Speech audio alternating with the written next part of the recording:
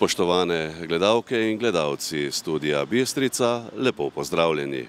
Iz vsebine današnje oddaje začetek novega šolskega leta, premjera kriminalnega filma Double Deal, krajani Tinja odločno proti veternim elektrarnam, Fridin 11. rojstni dan, na pragerskem četrti turnir v Ultimate Frisbeeju.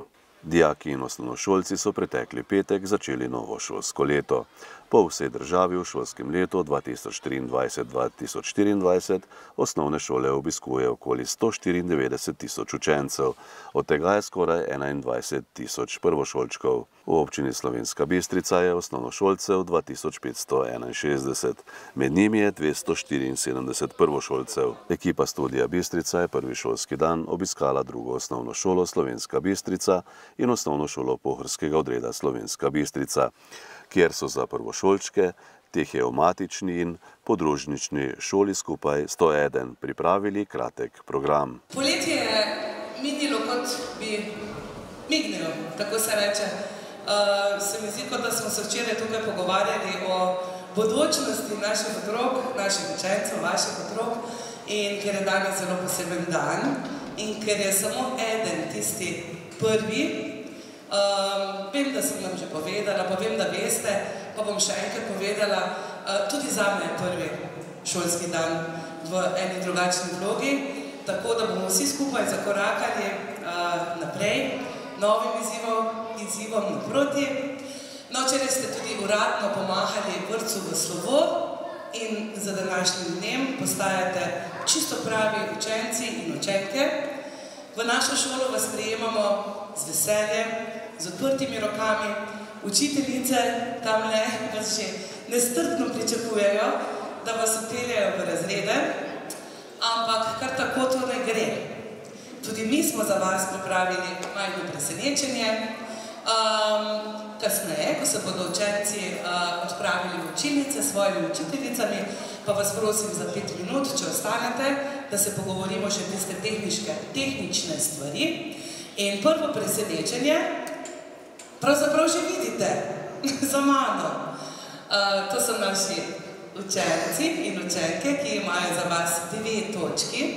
Uh, pripravili ste jih mentorice gospa Rahira Loncevič in gospa Sara Kozmos. Jaz mislim, da se bo dan zelo lepo začel, ker je prvi šolski dan. Verjamem, da bo ostal v spominih zavedno in dajmo ga začeti z glasbo. Učenci ste pripravljeni? Izvolite.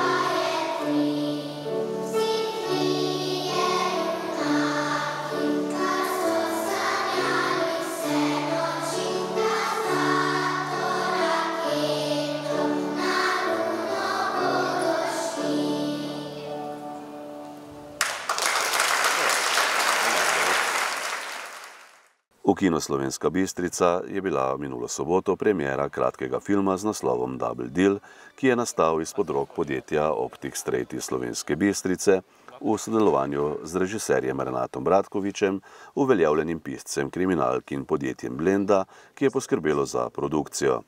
Dogodka se je odeležila celotna ekipa, ki je sodelovala pri nastajanju filma. Zgodba spremlja slovitega zasebnega detektiva Nika Kalaša, ki se loteva svojega morda najzahtevnejšega primera doslej. Dogajanje je postavljeno prav v slovensko bistrico, sledi pa detektivovemu iskanju resnice. Zgodbo zaznamuje vznemirljivi svet spletk, skrivnosti in nepričakovanih preobratov. Ko smo z Teodorjevo ekipo dobili priložnost, da nekaj takega naredimo, ne smo priložnost zagrabili z obema rokama, z več o ozadju samega projekta in zakaj nastal in to bo povedal uh, Teodor.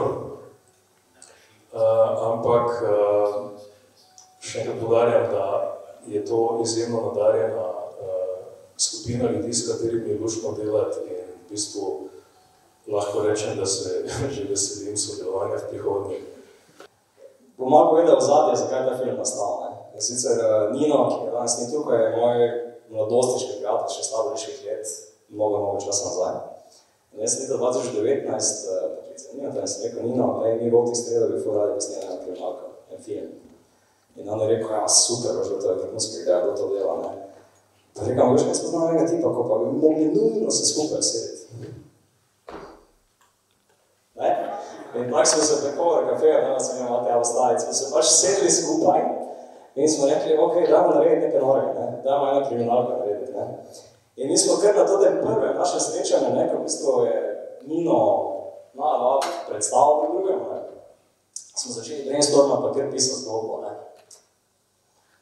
In um, tako je Renato seveda edini človek, jaz sem zvanki pekal, nosil na sebe vedno, ne, pa blokec, začel pisati to kriminalko. In ko sem jaz videl tudi tekst, ne, pa pa ko sem si ga še malo boljše pogledal, ne, uh, sem si rekel, če bomo mi prišli do filma, vsake čast.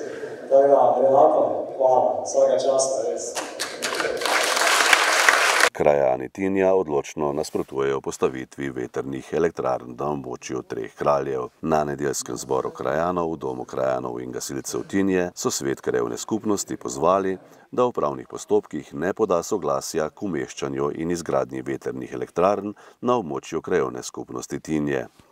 Zbor je sklical predsednik sveta krajevne skupnosti Tinje Maksimilijan Tramšek. Zbrane je seznanil z namero družbe Energija na veter, ki na območju Pohorja načrtuje postavitev 56 veternih elektrarn.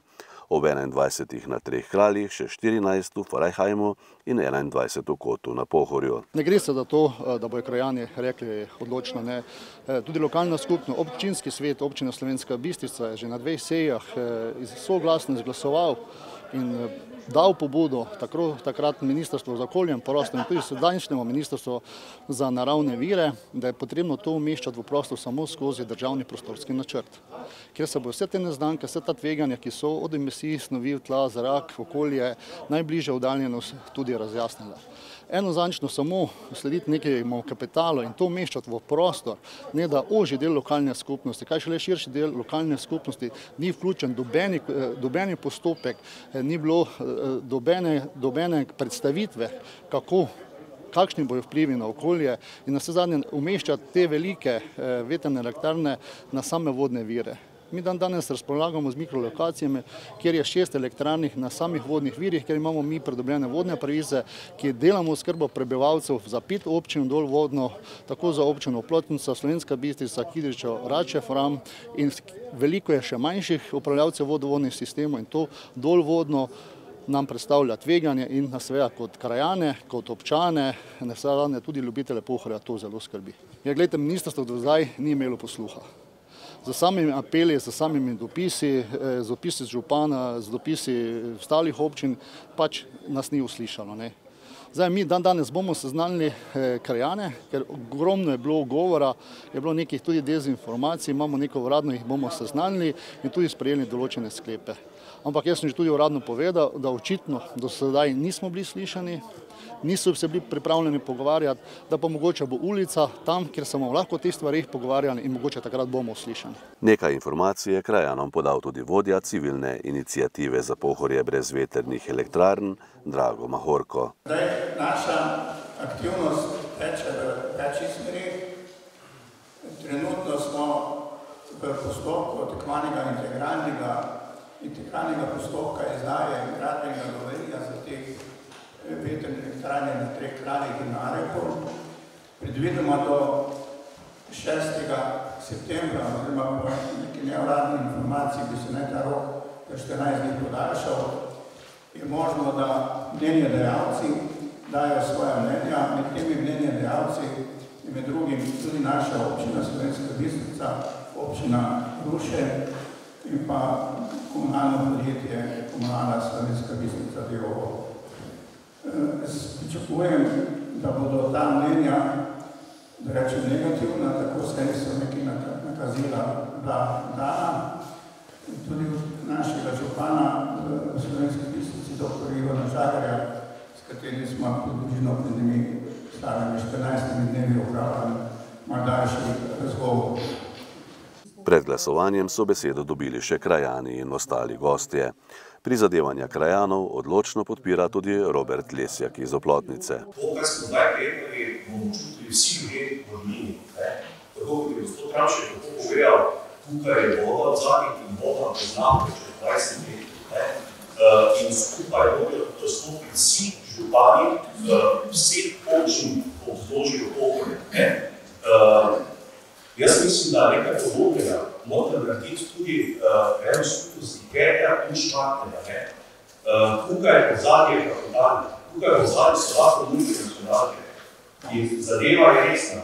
Ali želimo mi živeti v takem okolju, ali pa ne želimo. Jaz mislim, vsako svoje mnenje, da ne želimo. Ne?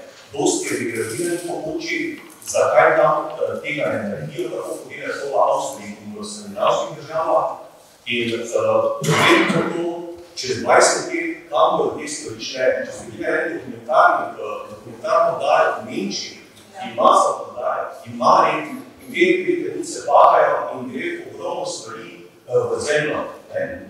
Uh, in mi se moramo bati multinacionalni, mi isto se popet povajajo s to milijonom, po milijard, to je kapital. In mi moramo skupaj stopiti.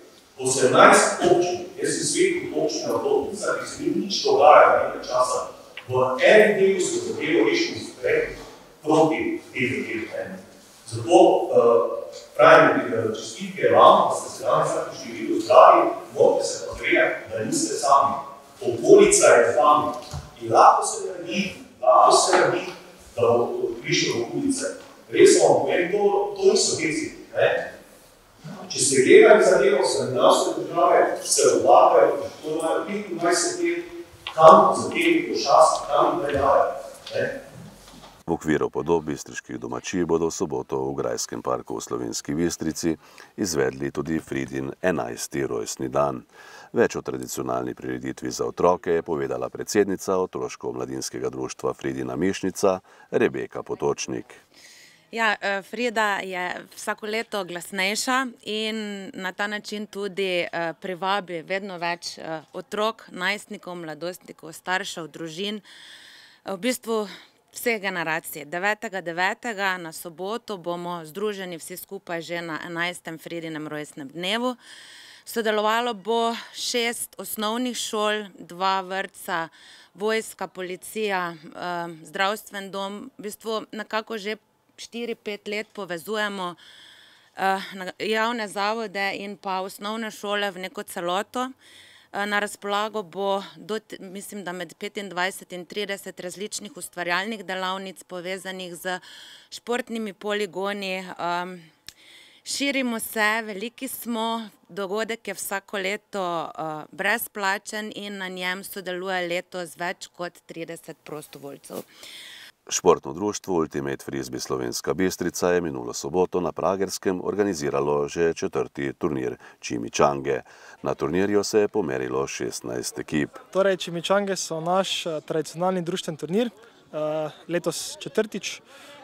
Na Pragerskem se nam zdi super lokacija, tako da smo jih spet naredili v okolišu Slovenske Bistrice, v okolišu našega društva. Z udeležbo smo zelo zadovoljni, 16 ekip, štiri več kot lani. Upamo, da bo to taki trend ostal, da bo iz leta v leto raslo. Z dogodkom zaenkrat smo zelo zadovoljni, zdaj se glih izvaja druga faza tekmovanja. In jaz mislim, da tudi večinoma vsi zelo, zelo uživajo. Malo je vroče, ampak boljše tako, kot pa da je bilo slabše vreme, no.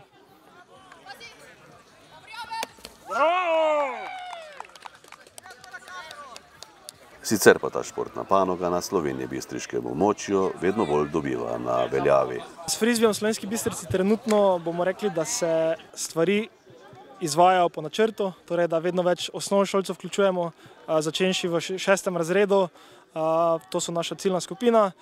Tudi letos smo drugič že organizirali osnovnošolski turnir, na katerem je bilo, mislim, da tudi vsaj sto osnovnošolskih igralcev, kar je zelo, zelo dobro. Tako da v Bistrici trenutno v Sloveniji Bistrica je v Sloveniji trenutno najbolj razvita glede frizbija in jaz mislim, da bo še nekaj let tako stalo in upam, da bomo tudi v Evropi si vtisnili v, v ime Bistrice, da se bo tudi druge poznalo. No.